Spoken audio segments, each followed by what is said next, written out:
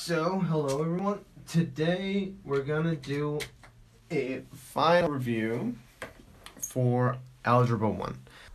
So, we have number 1, they tell us to evaluate uh, 2m minus 7n divided by m plus n when m is equal to 7 and n is equal to negative 1.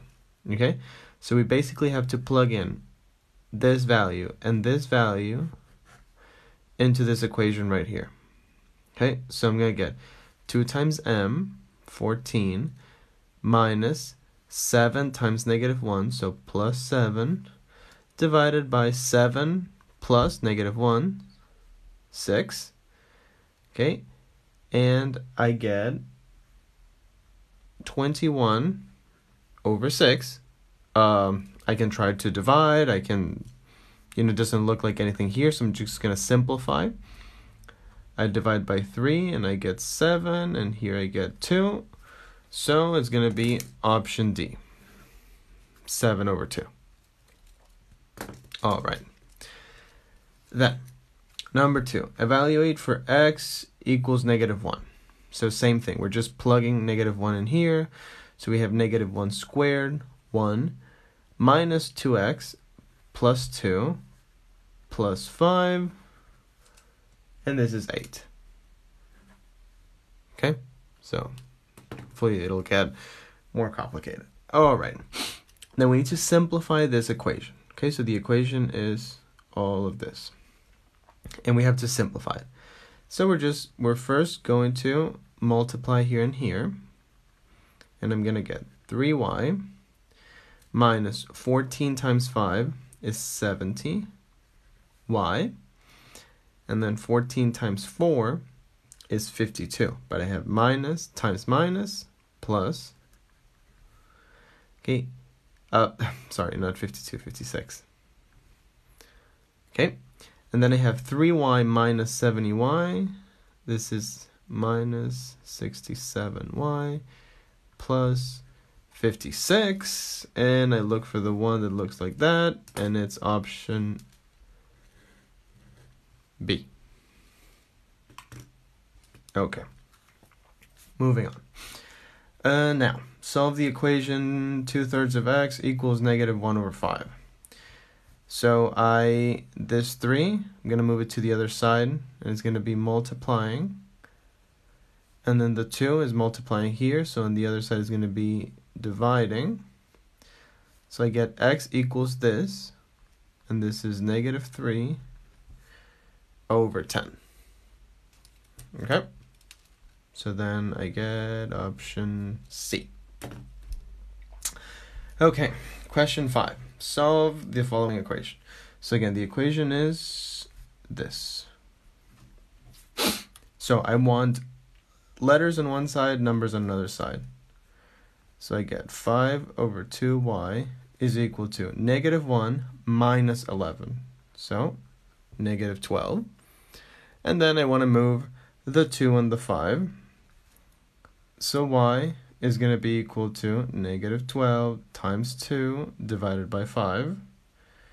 And this is negative 24 divided by 5. And I look at my options. A.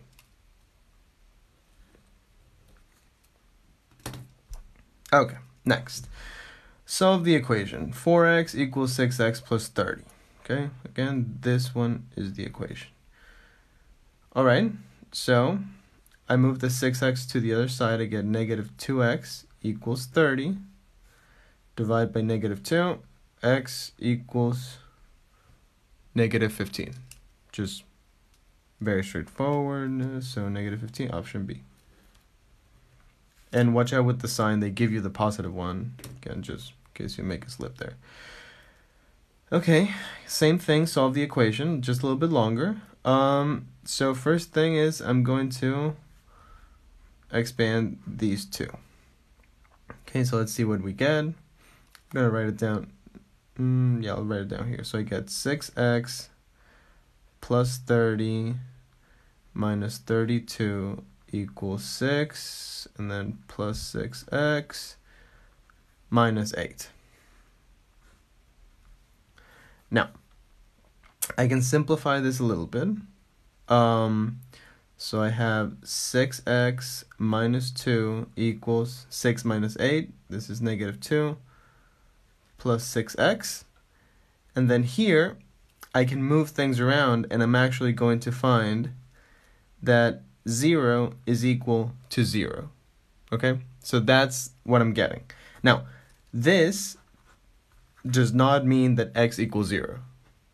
Okay? So this is this is not true. So 0 equals 0 is going to be all real numbers. Okay? Why? Because, so what that means is that you can plug in any x you want and you're always going to get 0 equals 0. Okay? That's, so remember, if you find, it doesn't have to be 0 equals 0, 1 equals 1, 3 equals 3. If you find that, it's all real numbers, okay? It's not x equals 0. That's, that's the most important thing to keep in mind. Um, okay, keep going. Uh, number eight. Marcus made $21 more than three times Joel, Joel's weekly salary. Okay, so then he made 20. They're basically giving us an equation, but with words. Okay, so $21 more.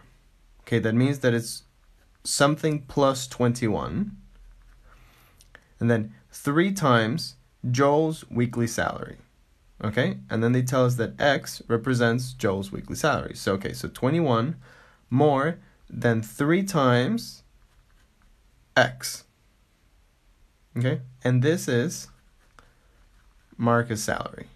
Um, and I look at my options. Okay, so it's 21 plus 3X.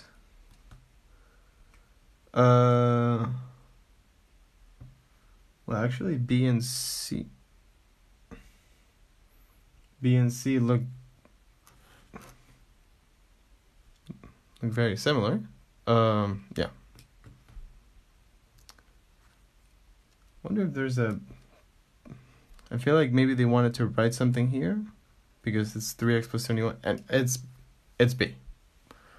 Um. Okay, yeah. So moving on. Number nine. Then they tell us. So the plans for a rectangular deck call for the width to be six feet less than the length. Okay? So the width has to be the length minus six. Okay, so the width, six feet less than the length. Sam wants the deck to have an overall perimeter of 44 feet. What should the, le- the length of the deck be? Okay, so what's going to be the perimeter? We can we can draw it maybe that again. So they tell us that it's a rectangular deck. So it looks like this. And then well, if it's a rectangle, then um I'm going to have width, width, length, length. So my perimeter, actually I should get another piece of paper. So the perimeter will be 2L plus 2W. And they tell us that we want the perimeter, the overall perimeter, to be equal to 44. Okay, so what does that mean? Well, that means that we have two unknowns, W and L, and we have two equations. So this is our first equation, and then this is our second one. So we just have a system, um, a system of equations. Um, and then we can go ahead and solve this. So from the first one, we get L plus W equals, simplifying, this is 22. Um, and this W I'm going to plug in here. So I'm going to get L plus, and then instead of W, L minus 6 equals 22. And then I just have an equation like from the previous problems. So this is 2L, I move the 6 to the other side, is going to be adding. So I get 28. Uh, so then L will be 14. Okay, now do they want, they wanted length. So the length is 14 we could have found the width first and then, you know, find the length, but in this case, you know, this is what they wanted. All right, so keep going. Uh, number 10. They say find find the x and y intercepts of this line. Okay, so this is just the equation of a line. Now, how do I find the x intercept? Yeah, just in case you forgot, you have a graph, and then you have a line, something like this. So then my x intercept is going to be when y is equal to 0. Okay, so when y equals 0, I'm at the x-axis.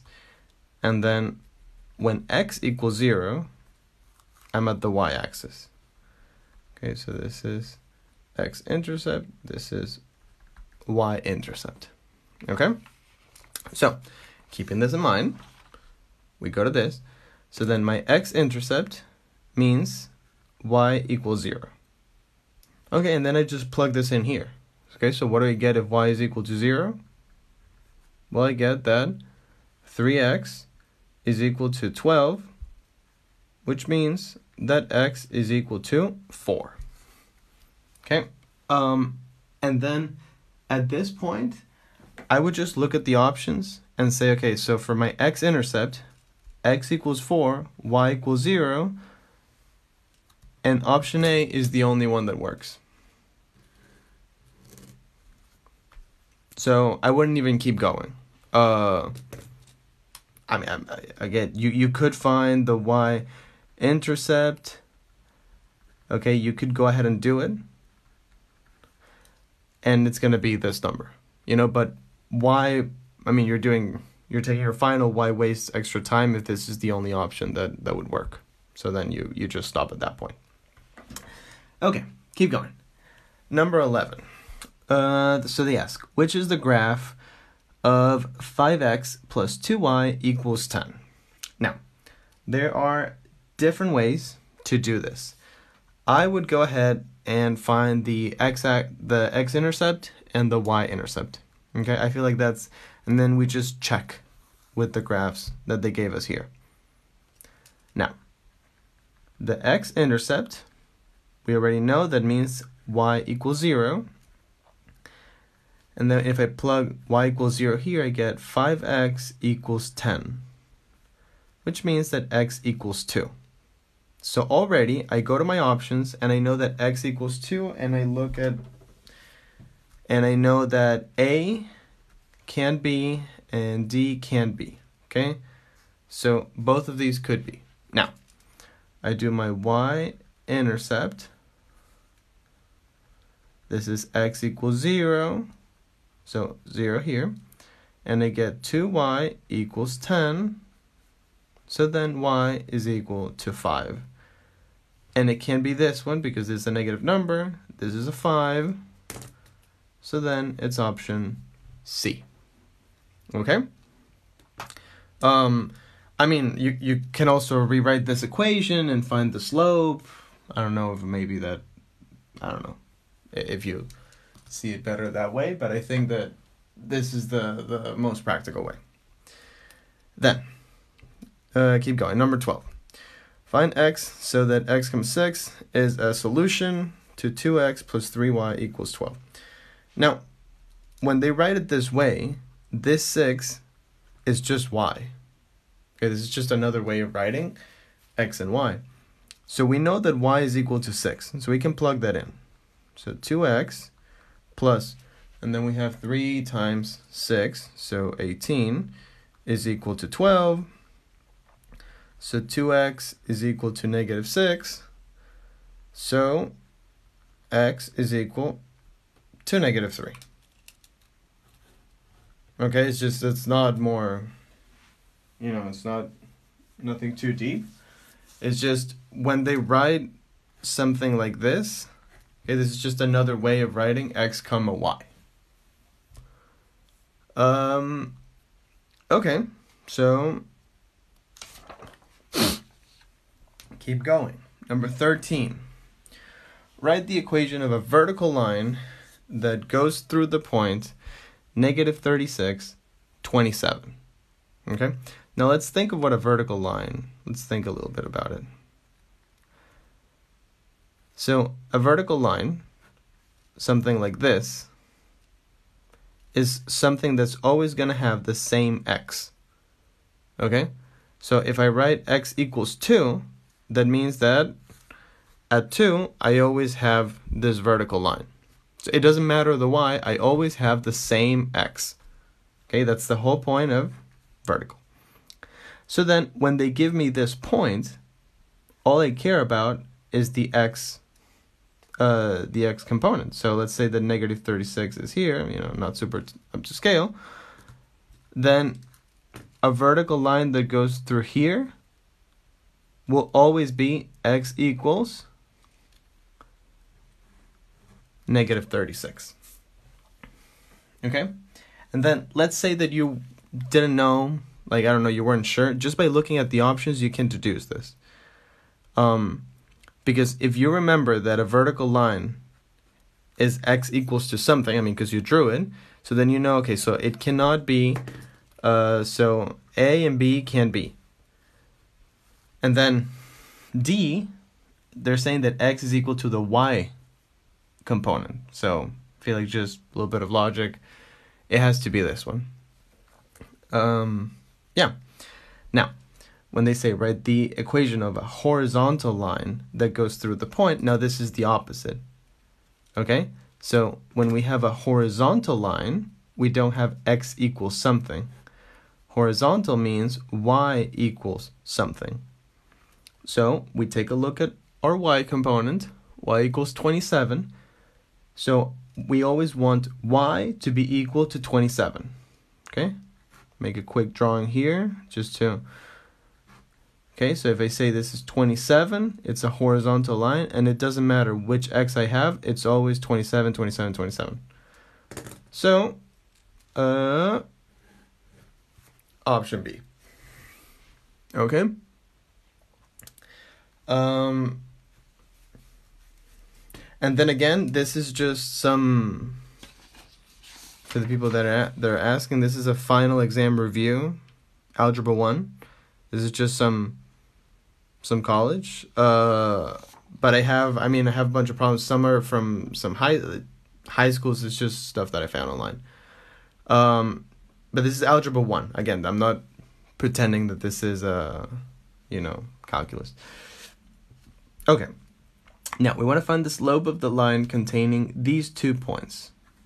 Well, what's the equation of the slope? M will be y2 minus y1 divided by x2 minus x1. Okay?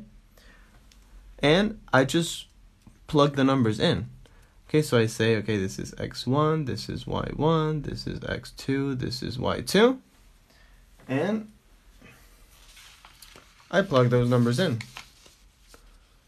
So m will be y2 which is 0, minus uh, y1, which is negative 7, divided by x2, which is 3, minus x1, which is 0, and I just get 7 over 3,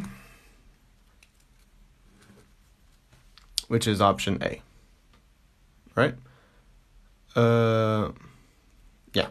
So as long as you remember, you know, this is how you find the slope. Um, and then it doesn't matter if you choose this one as 0.1 and this one as 0.2 or vice versa. So you would get the exact same number if you had said x2, y2, x1, y1. Okay, that, that makes no difference. Um, okay. So, keep going.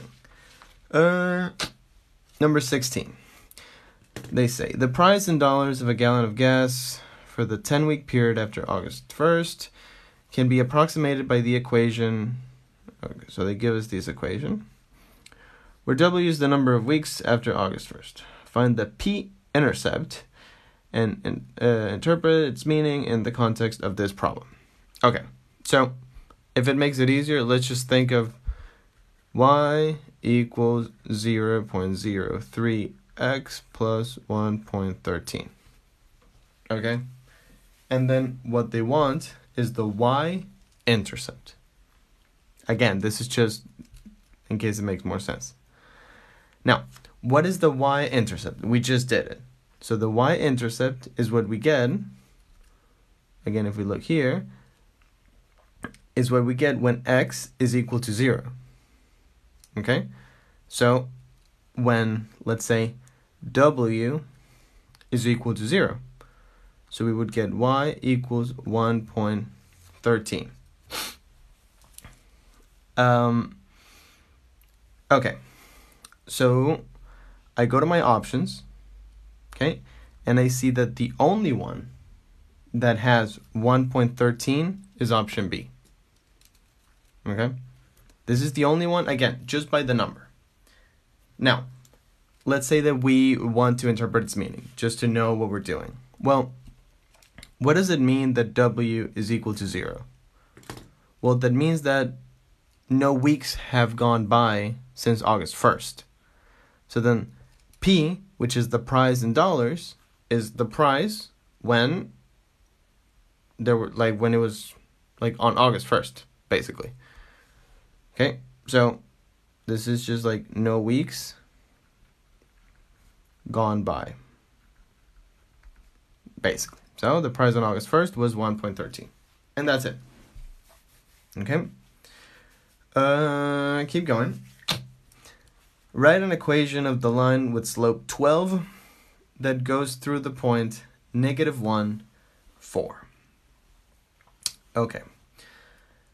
So, how do we do this? Um, I'd say like two ways. Uh, the first way I can think of is we know that the equation of a line is y equals mx plus b. Okay, at least in the options that we get, this is more or less what it looks like. Now, we know m. Okay, so we know that actually it's going to be y equals 12x plus b. And the b is the only thing that we don't know. Well, if we know x and y, because this is x and this is y, we can just plug those in here. Okay? So where I see y, I just say 4, and where I see x, negative 12, and I just solve for b. Okay, so 16 is equal to b. And that's option C. Um, I guess that's not the only Maybe you could do something else. But I think that I think this is the easiest way for sure. Um, and then again, because someone just asked, this is an algebra one. Oh wait, I don't know what I did with that piece of paper. It's an algebra one final review. Yeah. Uh. Hmm. Yeah, I don't know what to do with the first page, but yeah. So it's a it's a review for the Algebra One final. Uh, hmm, where did I put it? Well, anyways. So, yeah. Uh, A level. No, I, I, I still don't really understand what the A levels are. I mean, I, I know it's like a UK thing, but I'm, I don't know how to make the equivalence between this and that. Okay, so they tell us solve this system of equations. Okay. So they give us two equations. Um, again, here they already solved for y. So I'm just going to go ahead and plug that into the other equation. So I have 8x plus 3 times and then negative 3x plus 12 equals 35. Again, this is not like the right order. This is just the order the order that I chose. Um so this is 8x minus 9x plus 36 equals 35. So this is negative x. I move this to the other side. I get 35 minus 36. So that's negative 1. So x is equal to 1. So as soon as I find this, I go to my options and I see, okay, so how many of those have x equals 1? And I see that it's only a. All right. So since it's only a, I mean, I, I could go ahead and plug x equals 1 into this equation, find y. Okay, so it would be minus 3 plus 12 is 9, but as soon as you can like rule out all the other options, it's just you choose that and you move on. Um, okay, so we're doing same thing with this one. Here we're going to say y is 6 minus 5x. And then I'm going to plug that.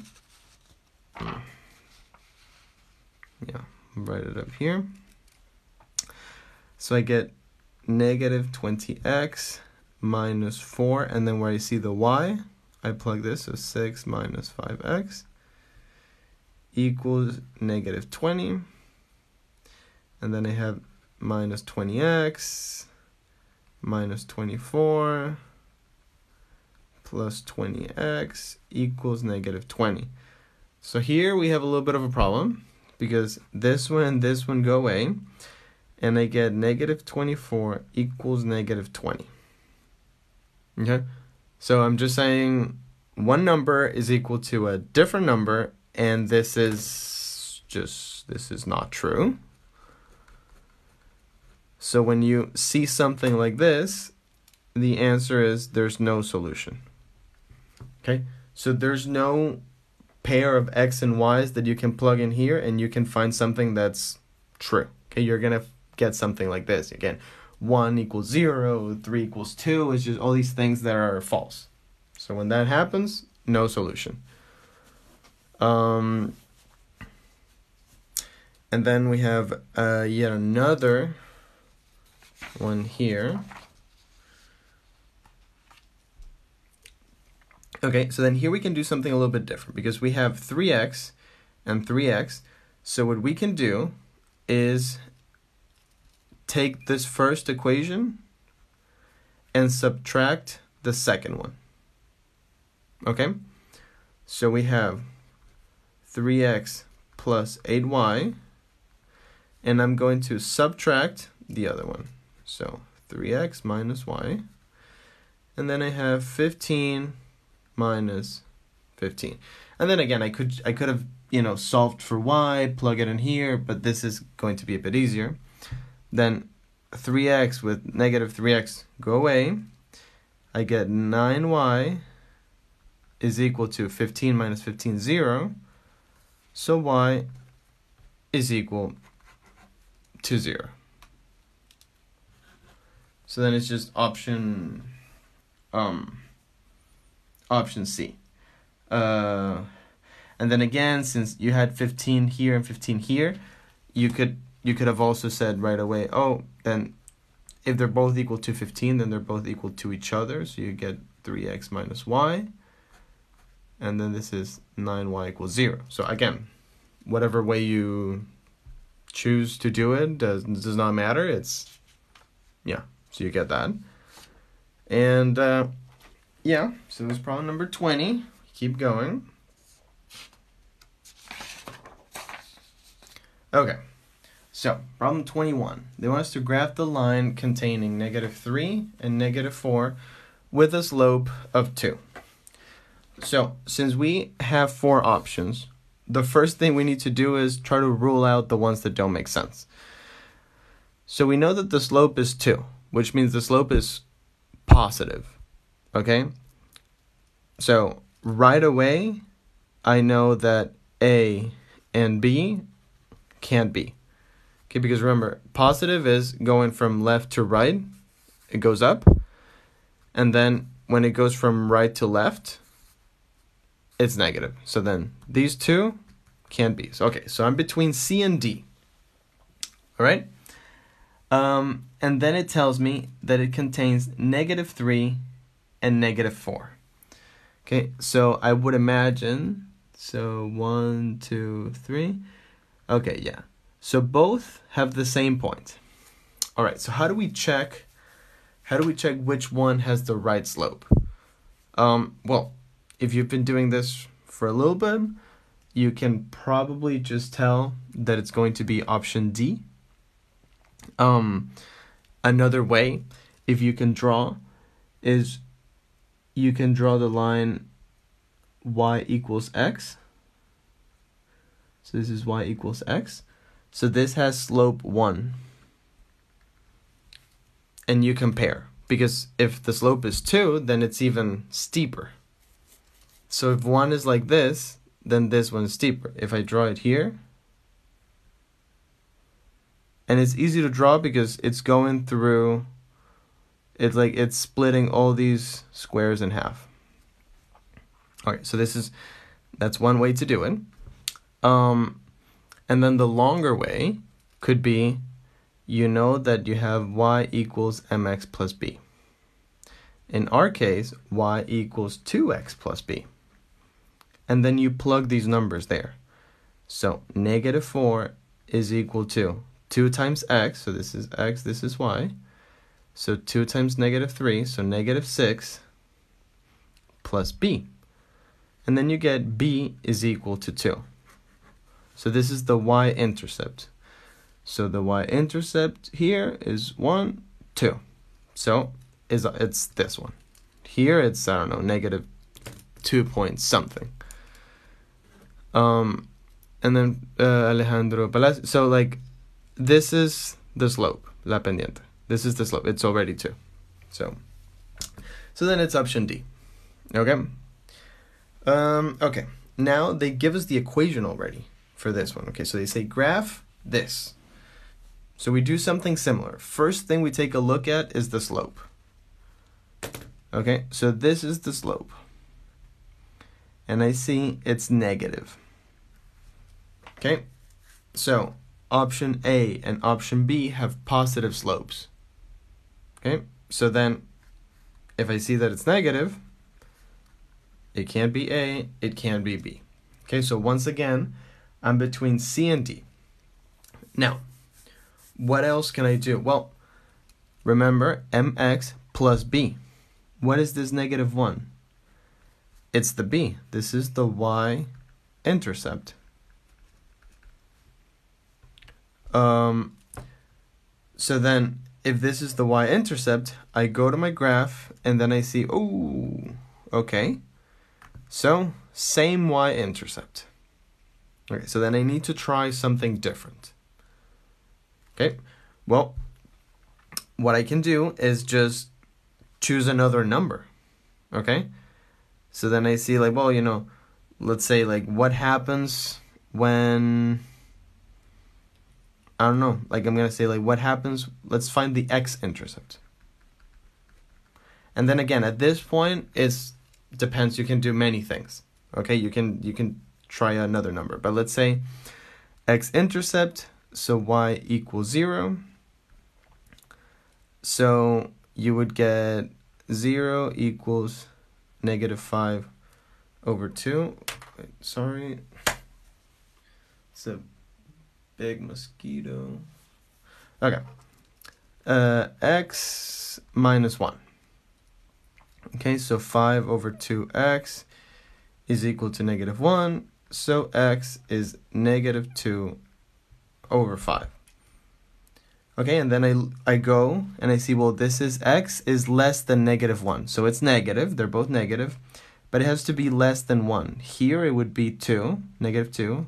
Here it would be, you know, around 0 0.4. So then it's C. Again, you don't have to you don't have to do it like this. Uh like um you can go through the graph and then maybe you see like, oh, you know, like here, when y is equal to 1, and then you plug that here. So then you say, okay, so if y equals 1, then what do I get? I get 1 equals negative 5 over 2x minus 1. This is negative 5 over 2x equals 2. x equals negative 4 over 5. Okay, so then you know that when y equals 1, you need to have this very small number. When y equals 1 here, you have negative uh, 1, 2, 3, 4, 5. Okay, so no. yeah, so it's definitely this one.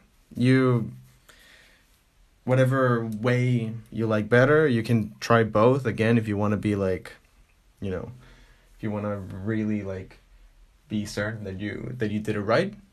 But that's um that's it. Okay. And now no more graphs, so we switch gears a little bit. Okay. So for number 23, they ask us at one store, five pairs of jeans and two sweatshirts cost $208. Okay, so I'm going to write that down. So five jeans and two sweatshirts are 208 and then three pairs of jeans and four sweatshirts so three jeans plus four sweatshirts cost 178 find the cost of one sweatshirt. So basically two unknowns two equations solve for solve for s. Okay so grab a piece of paper to do this.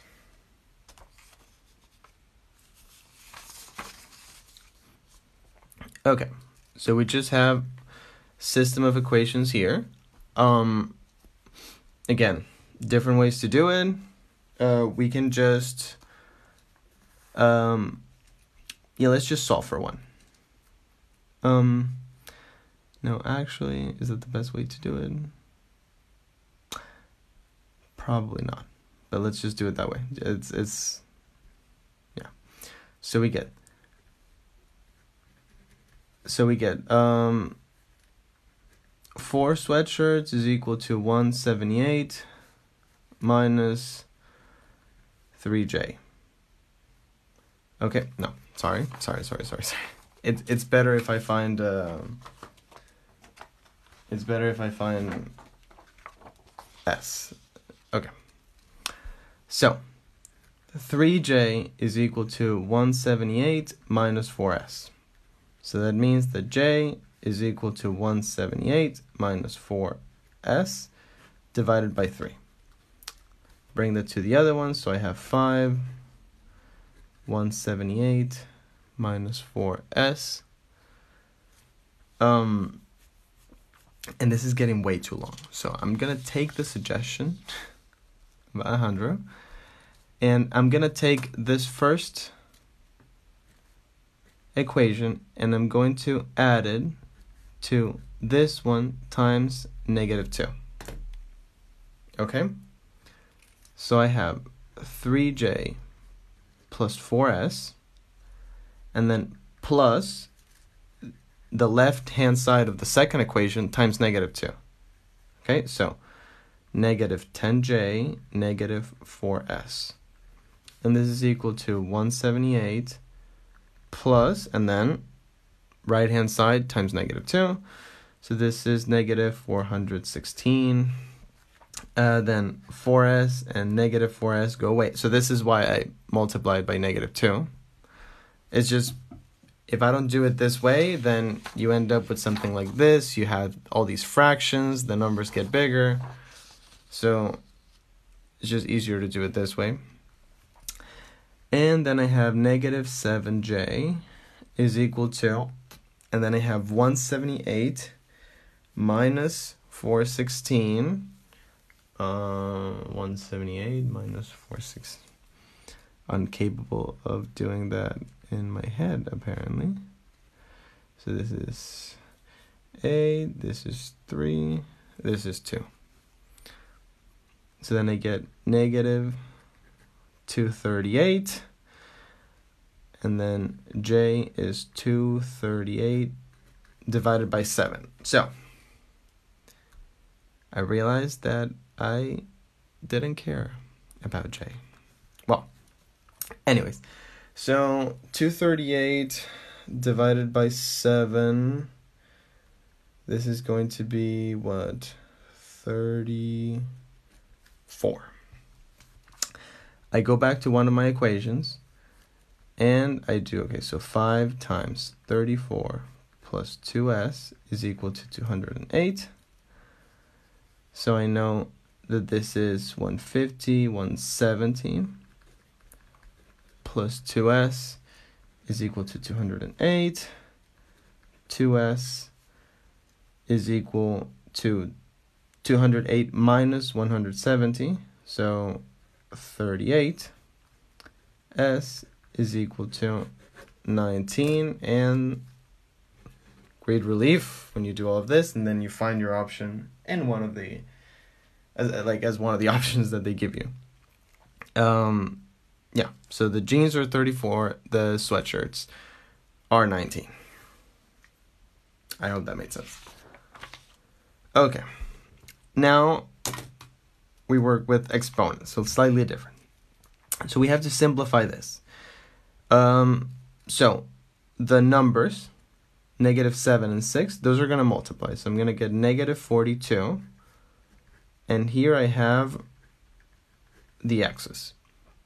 Well, if I have a multipli- multiplication, it's going to be 4 plus 12. So this is going to be negative 42 x to the power of 16. B. Why did you multiply the second equation? Okay. So, uh, okay, so I multiplied it by negative 2 because I wanted to basically get rid of one of the unknowns. And then I realized that I have a 4 here and I have a 2. So if I multiply this 2 by negative 2 and add it up to this one, I'm going to get 4 plus negative 4, which is exactly what happened. Um, I could have, it just, it would have been harder here. I would have had to multiply the 3 by 5 and then the 5 by negative 3 to get like 15 and then minus 15. But it's just a trick to get rid of one of the unknowns. You solve for one and then for the other. Yeah. Um, okay, so then here, same thing, but now we need to be careful because these exponents are affecting the numbers. Okay? So I get 7 to the power of 2, and then y to the power of 12. Okay, so when you have an exponent of an exponent, they multiply each other. Uh, and then this times 2 to the power of 4, and then y to the power of 32. Okay, so let's rewrite that. This is 49 times 2 to the power of 4 is 16. Okay? And then I have y to the power of 12 times y to the power of 32. And like we just did here, we have to add them up. Um, so I have 12 plus 32, so I have 44.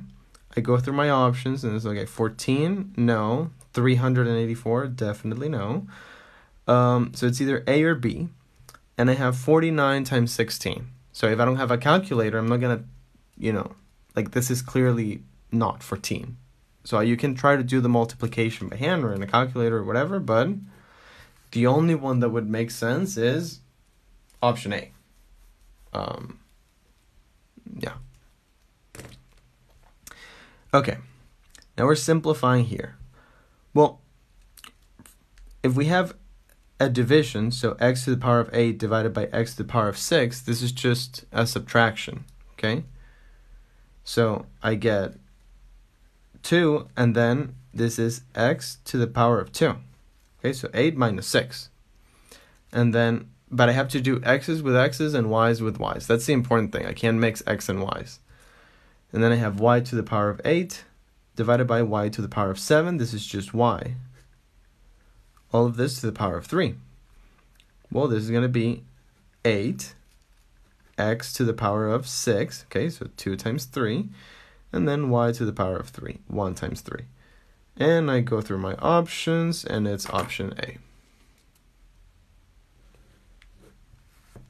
Okay, very like it's easy if you remember the properties. So it's very important that you yeah, that you remember your properties. Um, okay, so then evaluate 2 to the power of negative 4. Very important. When we have a negative, this doesn't mean that we're going to get a negative number, and they do it on purpose, okay?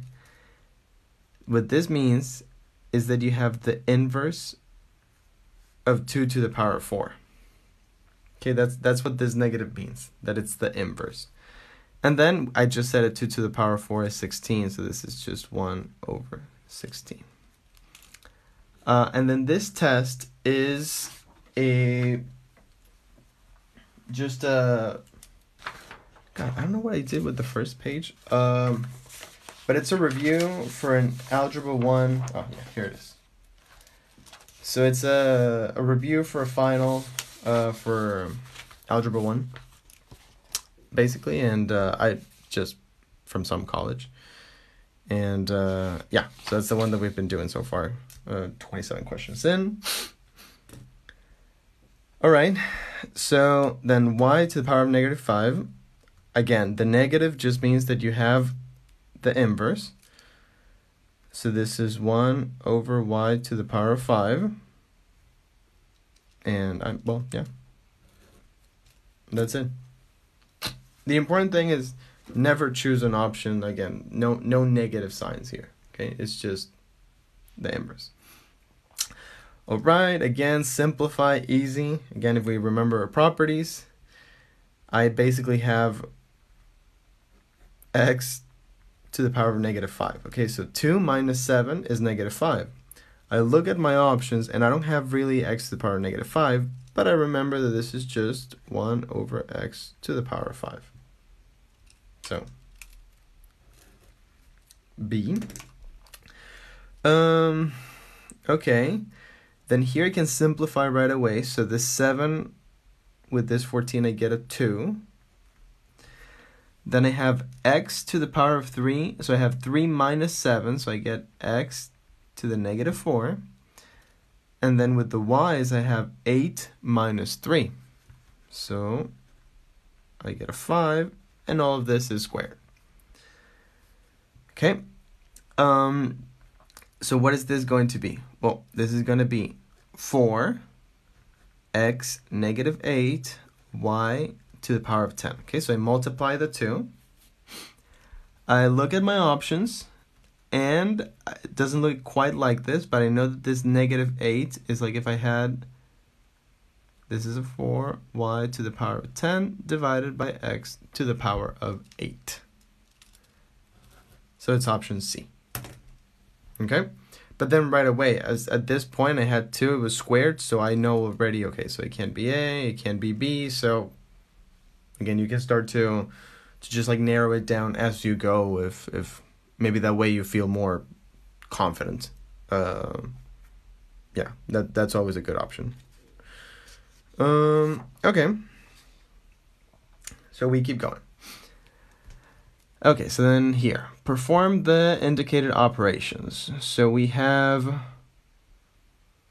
all of this okay uh well, this is just a sum or a subtraction. We just have to group the the right terms with, with each other. Here we have a squared b. Here we have a squared b. So I have negative 4 minus 2, negative 6, a squared b. Then I have ab squared, ab squared. I have 3 minus negative 3. So 3 plus 3 6. Um, and then let's just do the last one. I have AB, so 1 minus minus 5. So 1 plus 5, 6.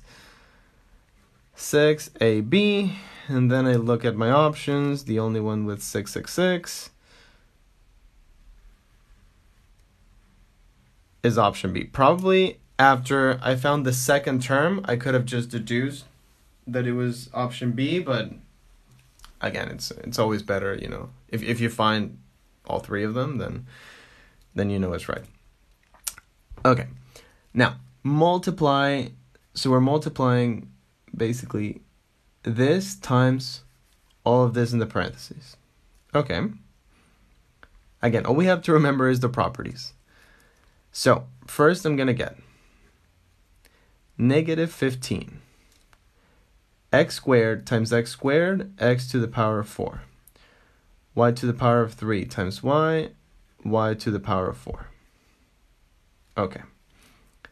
Then I get negative 9 x squared x x to the power of 3 y to the power of 3 y to the power of 2 y to the power of 5 so at this point I stop and I look at my options. Okay? And then I realize for example here this second term looks different. It's not b. Here the first term looks different. It's not this one uh, and here it's a 6, not a 5. This one looks different. So I can just I can just um you know choose D. I could continue to go. You know, I, I, I, I could do I could do it four times, but you know, if I can not do it four times, then it may be better not to do it four times. Um yeah. So just dot dot dot. Okay. Uh, multiply. Okay, so this and this. The important thing is to go in order. Okay, so we're gonna do 10x times all three of them and then 5 times all three of them. So I get 10x cubed, then minus 20x squared, and then 10x plus 2 plus 20x. All right. And now 5 times all three of them. So plus 5x squared minus 10x plus 10. And now I group all I, I group them all together. Okay, so I have um 10x to the power of 3 and then minus 20 plus 5 so plus 15 sorry not plus minus 15x squared. Already, the only option that has 10x cubed minus 15x squared is option C. I just choose that one. But, okay, I can do uh, plus 20x minus 10x is plus 10x. Again, it is here, and then plus 10. You, you can do it all. It's not super important, but I mean, as soon as you know, you know. Um, okay. Then multiply. Well, I mean, so you just have to like expand this because you have p plus 11, all of it squared. Okay, so many of you remember this is the first one squared plus 2 times first one times second one plus second one squared. And this is p squared plus 22p plus 121. And that's just option C. Okay, so that it's literally a plus b squared. So a squared plus 2ab plus b squared. Okay? It is well, I mean this is an algebra class.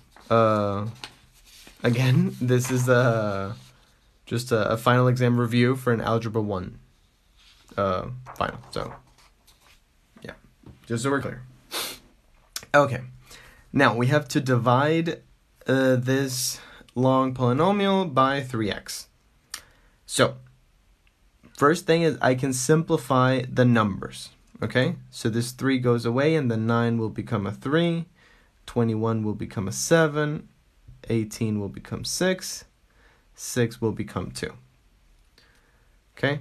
So then right away I have 3x to the power 4 minus 7x cubed minus 6x squared plus 2x. And now I just divide this by x. Well, I mean, I have to subtract 1 to all of these exponents. So 3x cubed minus 7x squared minus 6x plus 2. And I go through my options option B. This is the one.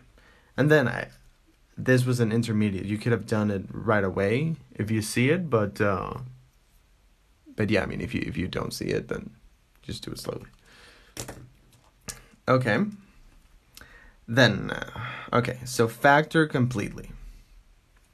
Well, first of all, we want to get rid of some of these numbers. So we're going to take a 5 I'm going to take a 5. And what are we going to get? So we're going to get uh, 10x minus 20y plus xy. No. sorry, sorry, sorry, sorry. Let me get another piece of paper. Small mistake there.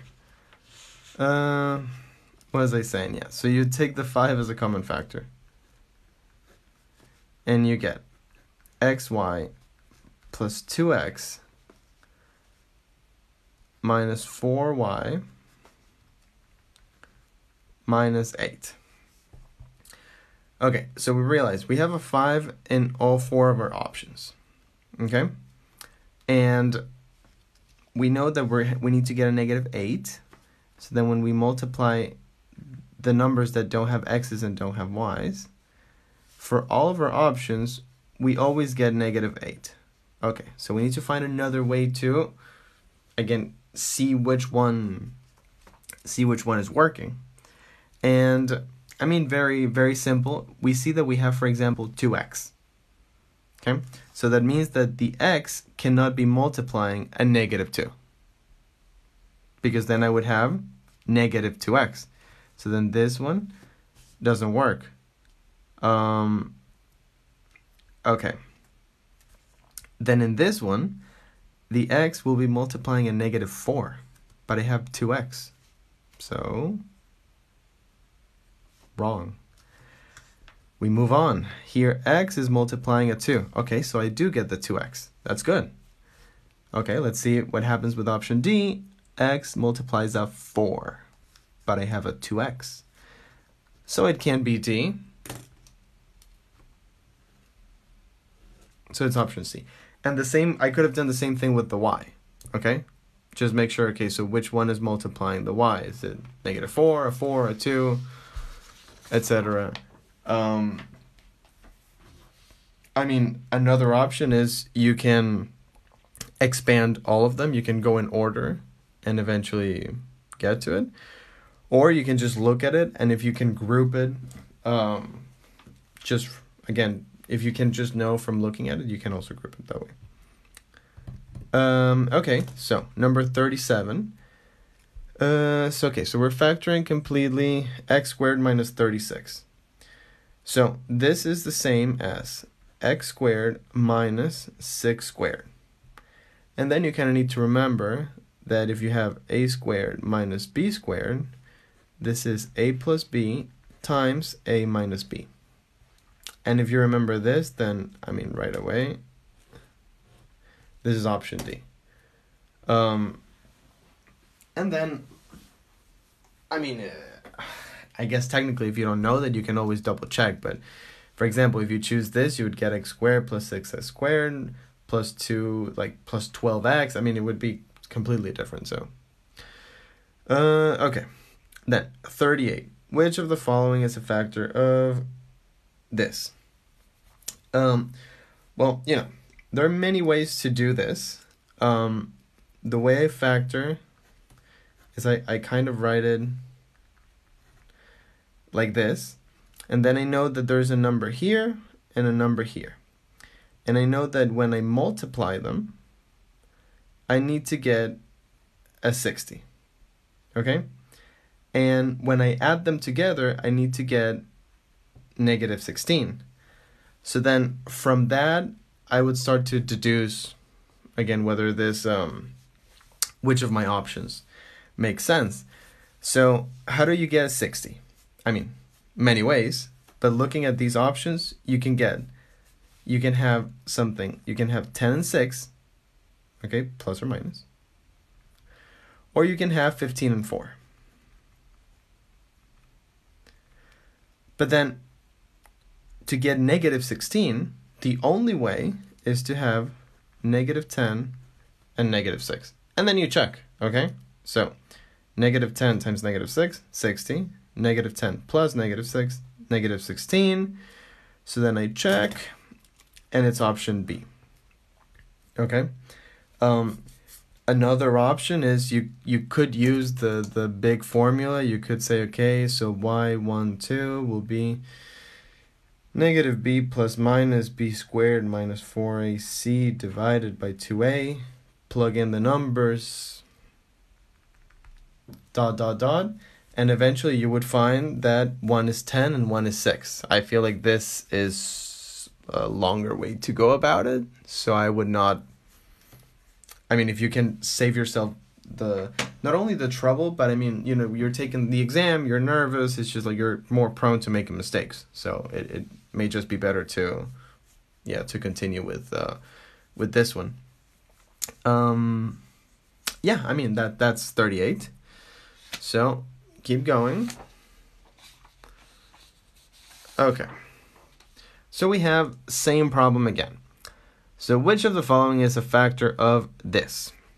Again, the way I would do it is C times C, and I know that there are two numbers here. Okay? I know that those two numbers, when I multiply them, I need to get negative 96. And when I add them together, I need to get positive 4. Okay? So, different ways to get 96. Um, you could have 12 and 8. Okay? Or you could also have 6 and 16. And of course, you know, with the signs.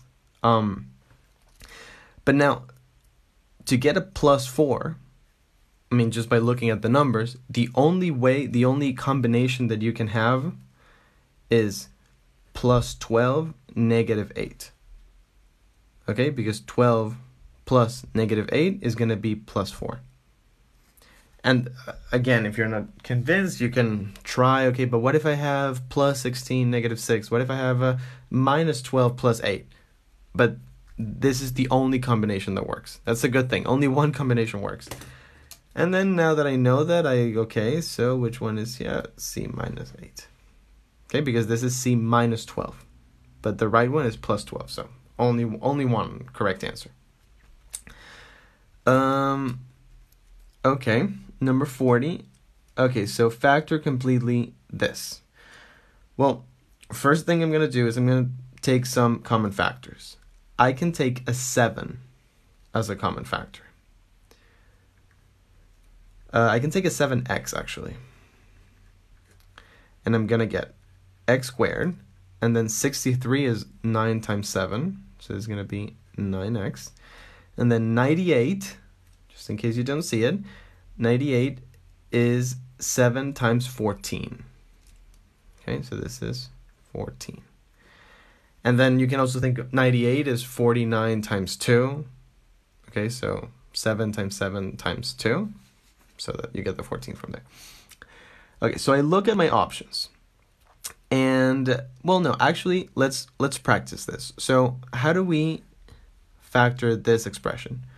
Well, I know that I'm going to have x times x equals 0. And then I know there's a number here, there's a number here. So two numbers that when I multiply them, I get 14, 2 and 7. But when I add them, I get negative 9. Oh, negative 2, negative 7. So then my solution has to be 7x times x minus 2 times x minus 7. And go through my options, and it's going to be option C. Okay, so I'm telling you, factoring this way, I feel like it's going to save you a lot of time. Because uh, what we don't want to do is you see something like this, and then you start doing, well, you know, uh, x1 2 is minus b plus minus square root b squared minus 4ac divided by 2a. We don't want to do that. Um, because this is where you make mistakes. When you're nervous, time crunch, honestly, this is this way, I mean, this is the way. This is the way. Um, okay. Solve the equation. Well, we can take some common factors. Uh, we can take a 4x that multiplies x plus 8 equals 0. Um, and then the 4, I can get rid of the 4. So I have something times something is equal to 0. The only way that that happens, so the only way that if you have something times another thing equals 0 is that one of those two things has to be equal to 0. Okay? So if you have a times b equals 0, one of these two has to be 0 because that's the only way to get a 0 from a multiplication. So what that means is that I have two options. My first option is that x equals 0, and my second option is that x plus 8 equals 0. Okay, so I'm going to get two solutions. It's a quadratic equation. So then my solutions are going to be 0 and negative 8 which is option D. Okay, 0 and negative 8. Um, you know, because here you just solve this as x equals negative 8. Okay. Um, okay, so here we're trying to simplify.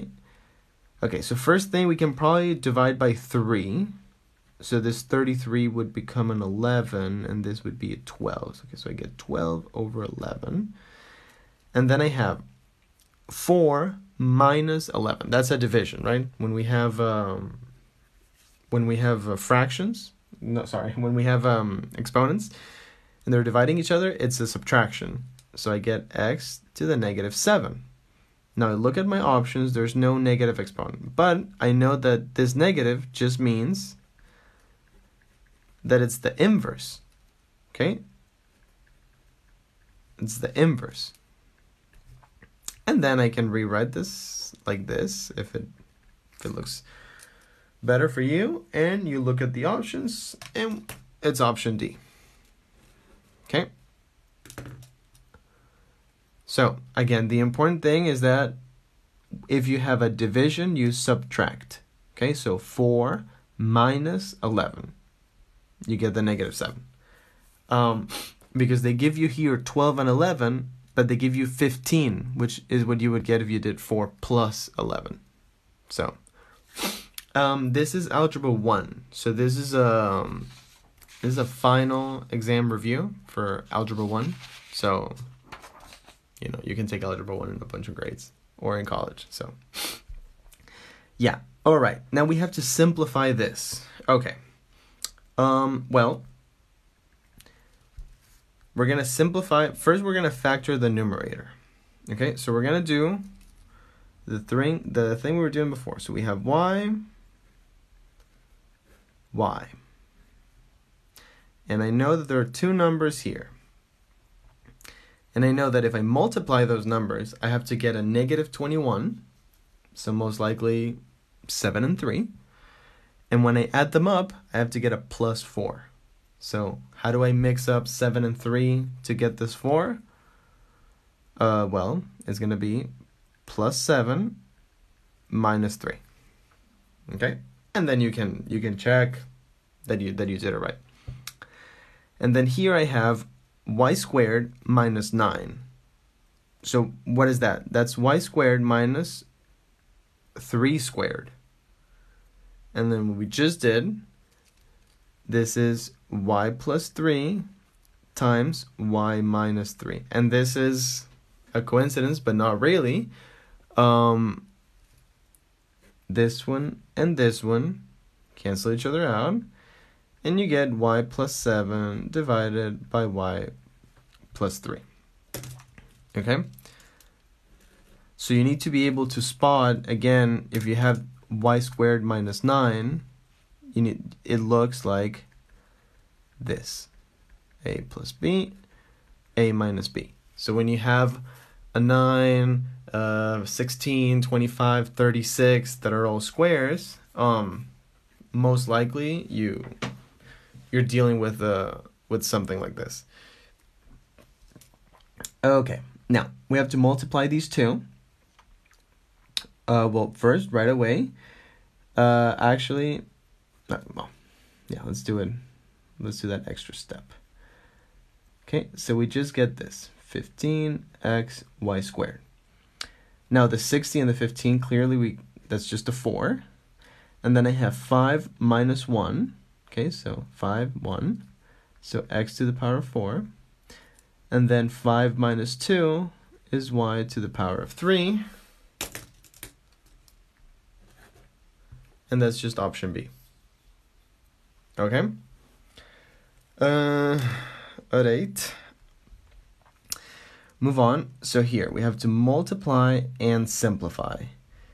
Uh, so we have. Hmm, what can we simplify? Okay, so we can take a 2 out of here and we can get 2 and then 2x plus 5. And this is x plus 2. And this is dividing 20 and this 2x squared plus 9x plus 10, we need to try to simplify this. Okay? Now, um, the trick that I was doing before, it always has x and x, okay, to get an x squared. But here we have a 2. And with that 2, things get a little bit more complicated. So you can still do that, but I would rather not. Um, so what we're gonna do is uh, da, da, da, let's see, could nine over two. No, I think it's just the safer, safest best is just safest bet is just to use the equation. So we're gonna get minus b plus or minus b squared. So that's 81 minus 4 times A times C divided by 2 times A. And I get negative 9 plus or minus. I have 81 minus 80 over 4. So this is negative 9 plus or minus 1 over 4. So the square root of 1 is just 1. Um, and then I get two solutions, which are negative 10 over 4, so negative 5 over 2. And the other one is negative 8 over 4, which is um, negative 2. Okay. So what did I do with these numbers? I plug them in here and I have x so the solution is negative 2 so then I have x plus 2 and then here I have x plus 5 over 2 okay? So then this one and this one go away. And then it looks it looks like I'm done, but but not quite. Simplify this a little bit, and I get 2x plus 5 divided by 10, and then here I'm going to add these fractions. So I'm going to get 2x plus 5, but this is divided by 2. Well, I mean, that's not a problem. This becomes um, wait. There's an extra 2 that I am forgetting somewhere. Because this is 1 over 10. I... Where do I have an extra 2? Uh... Okay. I missed that too. But it's 1 over 10. Um... Must have lost it somewhere over here. Well. Uh, we're almost out of time, so no time to step back for it. Keep going. God, so many, but we can skip this and go to the last ones. What do you guys think? Um. Okay, wait. Let's do let's do one division and then we we move to the to the next one. Okay, so what does it mean? Again, this just looks nasty, but it's it's really not that big of a deal. Um, the way I think of divisions in general with fractions, I was taught to write them like this. Okay, so all of this by the other one. And then we do, we call it a double C. Okay, so you multiply these two, and then you multiply these two. Okay? And what do we get? We get x squared minus 7x minus 18 times x squared minus 9. And this is x squared minus 12x plus 27. 4x squared plus 8x. Okay, so now I have only one fraction. I did the division part. Um, which, yeah, very simple. Now, we need to simplify that because just by looking at the options, I mean, a lot of things need to cancel out.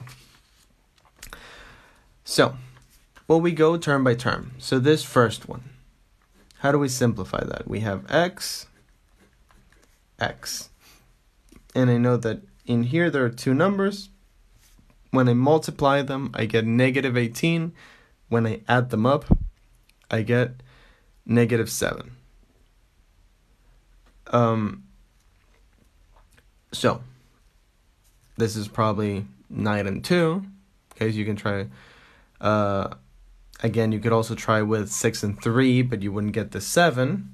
So you can try different combinations until you see that this is minus 9 plus 2. Keep going. x squared minus 9. We did it a couple of times. This is x minus 3, x plus 3. Okay. Denominator. Again, we have to factor this. So we have two numbers. When we multiply them, we get 27. When we add them up, we get negative 12. Again, you think long and hard, and probably is 9 and 3. Uh, but then to get negative 12, it's negative 9, negative 3. Okay. And then here you can take 4x as a common factor, and you would end up with x plus 2. And now I factored everything. And I start this one and this one go away, this one and this one go away, this one and this one go away.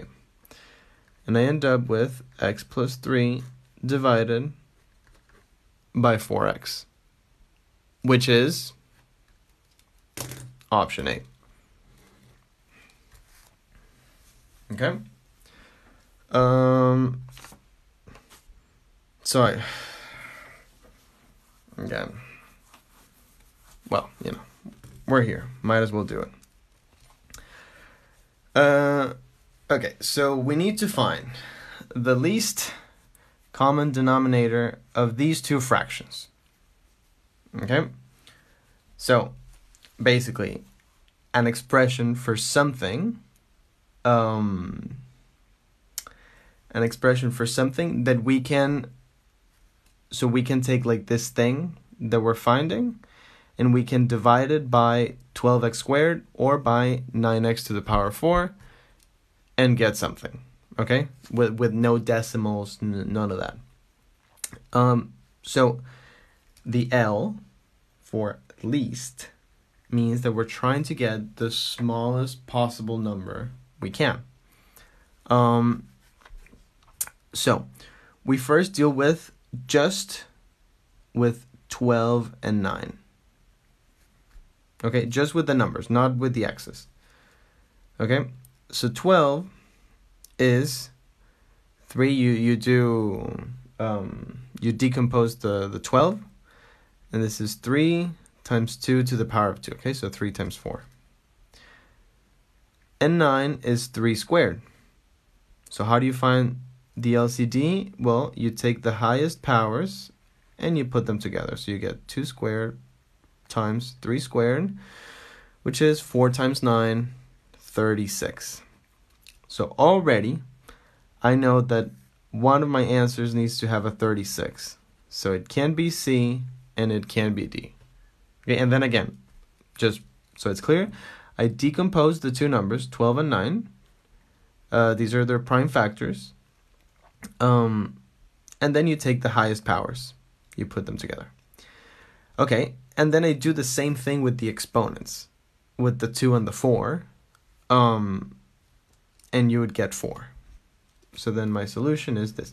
And you can check. You can do 36x to the power of 4 divided by 9x to the power of 4. It's just 4. Um, or, I mean, you can also go like 1 by 1 and just check can I divide this by this? Can I divide this by this? And you keep going. Um, yeah. But then when you go in order, start with the smallest one. Um, yeah, that would be the best way. Uh, okay, so that was 47. 48. Well, this is just fraction, same denominator. I mean, this is no real science here. This is just 15x plus 7 divided by 9x plus 16. So, mm, super duper straightforward. Um, okay, now for this one, uh, slightly more complicated. So again, when you're subtracting, adding fractions, I don't know if you like doing like this sort of cross product, uh, however you do it, because there are many many ways to do it.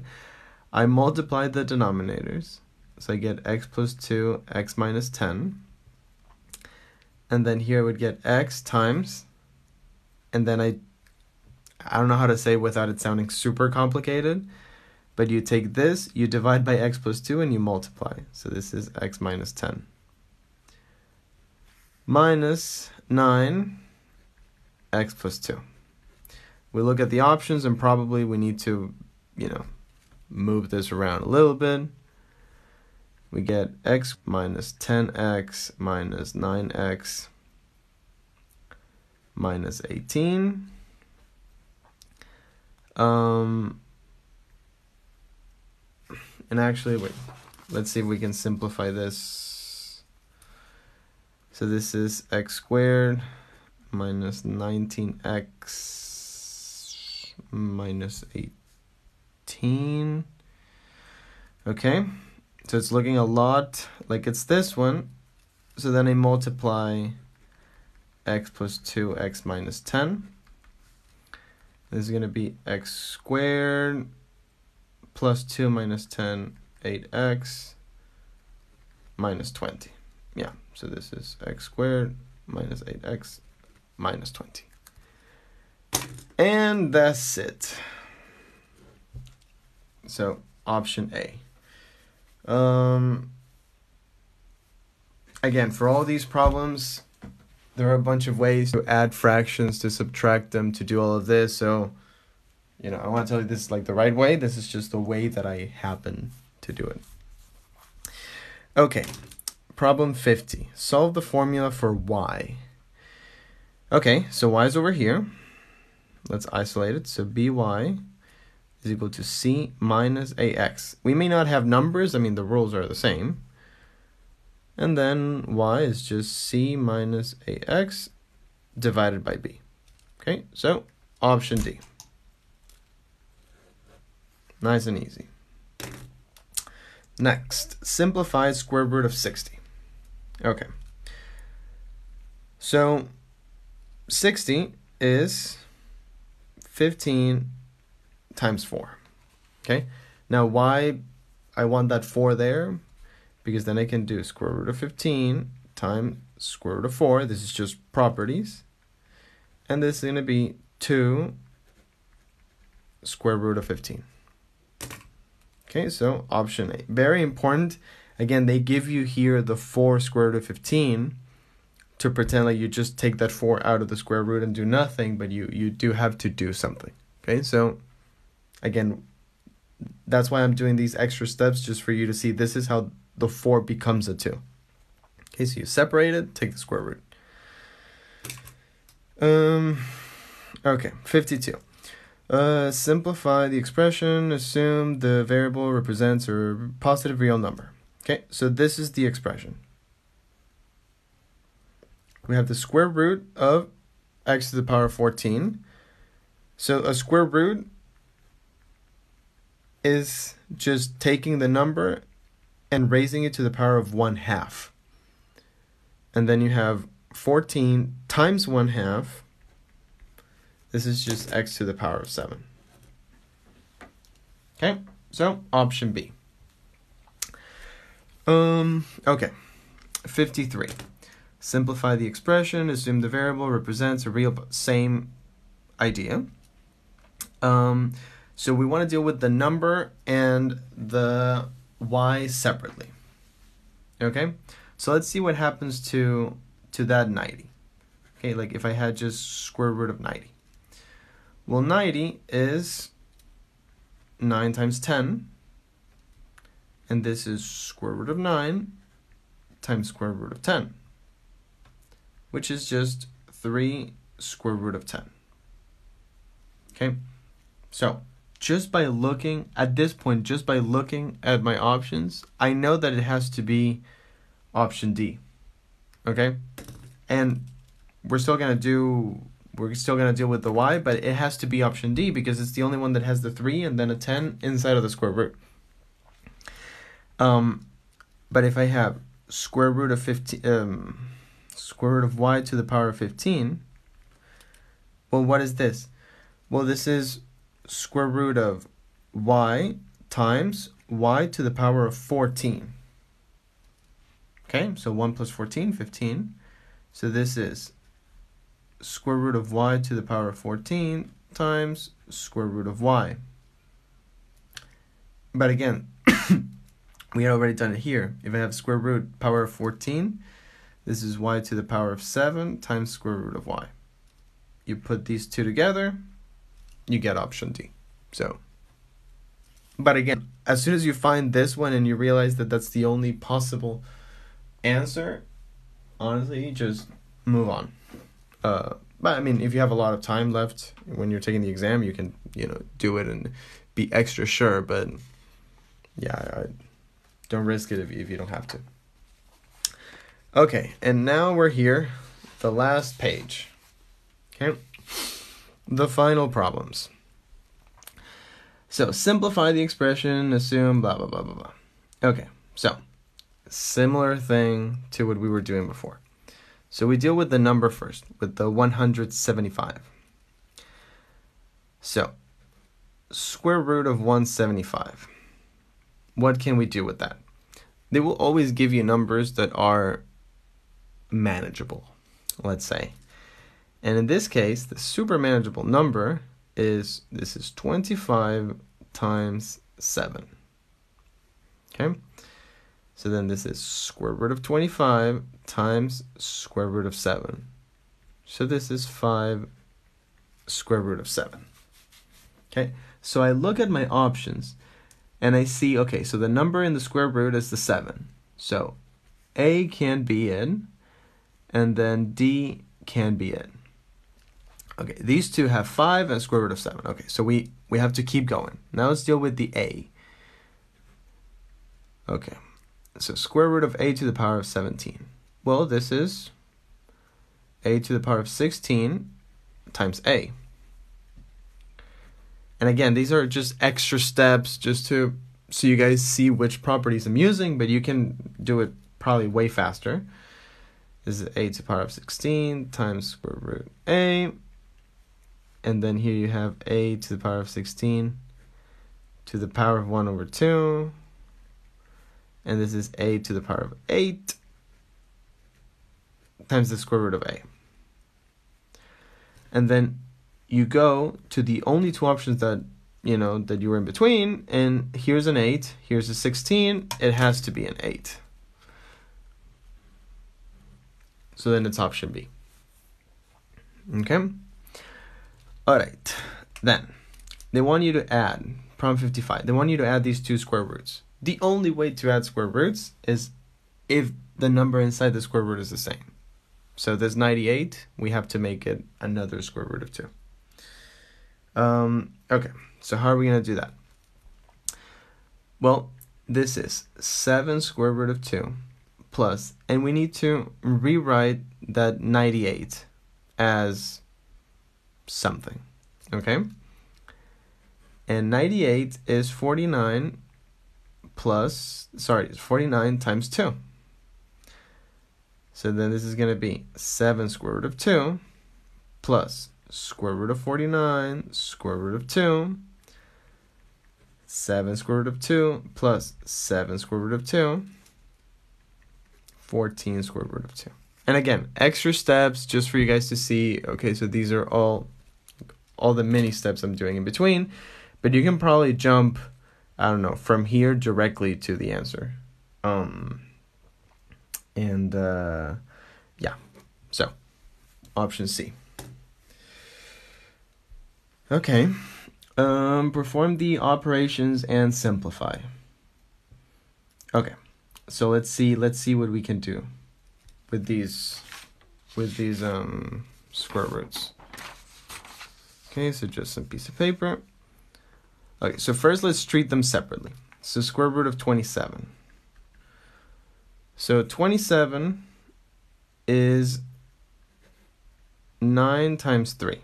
Okay, we can start to go a little bit faster now. This is 3 square root of 3. Okay, now 75. 75 is 25 times 3. This is 5 square root of 3. Okay, so already this square root of 60, probably not it. Um, Okay, let, let's keep going at this point. I mean, this one with a square root of 5, this one's definitely not it. Okay, so we're in between these two. 108. Okay, so how can we rewrite 108?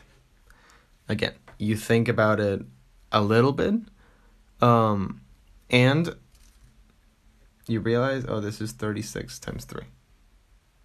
Okay? 6 square root of 3. So then what they're asking me is 3 square root of 3. But then what they're asking me is 3 square root of 3 minus 5 square root of 3 plus 6 square root of 3. And this is 6 plus 3, 9 minus problems. Okay, so you've decided to enroll in a local community college as a part-time student, taking fewer than 12 hour credits. Okay, so the cost per credit at your college is this. What is the cost of a fourth four credit hour math class? Well, I mean, yeah, so very simple. So 138.50 times 4. Okay, so each credit, I mean, uh, and then you do this, and this is $554.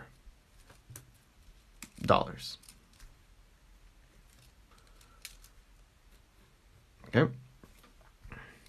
Then, write an equation to determine the total tuition for a given number of credit hours. Again, just very fancy way of, you know, what's the relationship between the price and the number of credits. Well, y is going to be, we just did it. This is the price, so 138.50 times the number of credits, x. and that's in. And then complete the following table. So they give you an x, 6, and they want to find the y. So you just plug, so then this y is just 138.50 times 6. Okay, so I'm going to cheat and just do it in a calculator. And this is 831. And then if it's 11, this is 138.50 times 11. Again, cheated, calculator in the background. And this is 1523.50. And then for the last one, they give you the tuition. So to find the credit hours, you have to divide 1246.50 by 138.50. Okay, again, calculator by hand, whatever it is that you prefer, and you get a 9. Okay, and those are the solutions. And now, the final problem, number 58. So, they give us a graph and they want us to state the slope of the line. Okay, so different ways to find the slope. I like to use a formula. Okay, so y2 minus y1, x2 minus x1, rise over run, whatever you prefer. Um, and I'm going to choose two points. I'm going to choose this one and this one. Okay? So I'm going to call, so my first point, this one, this is um, x is 0 and y is 2. And then this one, x is 1, 2, 3, 4, and y is 0. And then I just plug that in here. Okay? So I'm going to say this is x1, y1, x2, y2, but it doesn't matter. It could be either one. And I'm going to get 0 minus 2 divided by 4 minus 0, and this is negative 1 over 2. Okay, so that's part A. That's the slope.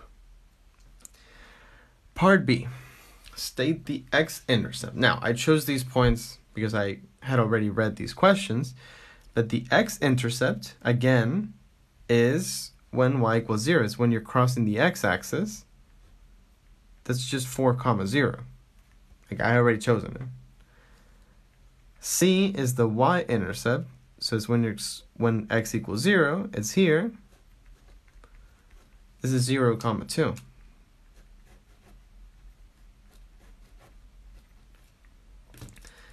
And then the last one, we have to find the equation of the line and write it in this form. Okay? Now, we already have m, right? So our starting point is that y is equal to negative 1 over 2x plus b. Okay? So what we don't know is the b, but we the rest of the stuff we do know. Okay. Now, what do we do? Well, honestly, easiest way is just take one of these numbers and plug them in. Okay, so any of these numbers, if I plug them in, I need to get the same b. So I'm going to say that y is going to be 2. Okay, so this is plugging in just one point from the graph. And honestly, any point you choose, like it'll give you the same thing. Um, so you're going to get 2 is equal to negative 1 over 2 times 0, so 0 plus b. So b is equal to 2. You bring that in here. y is negative 1 over 2x plus 2. Um, so I will take pictures of all of these. Um, like I'm, I'm gonna scan uh, all the solutions, like everything I did, everything I wrote, and I will upload this to our Discord.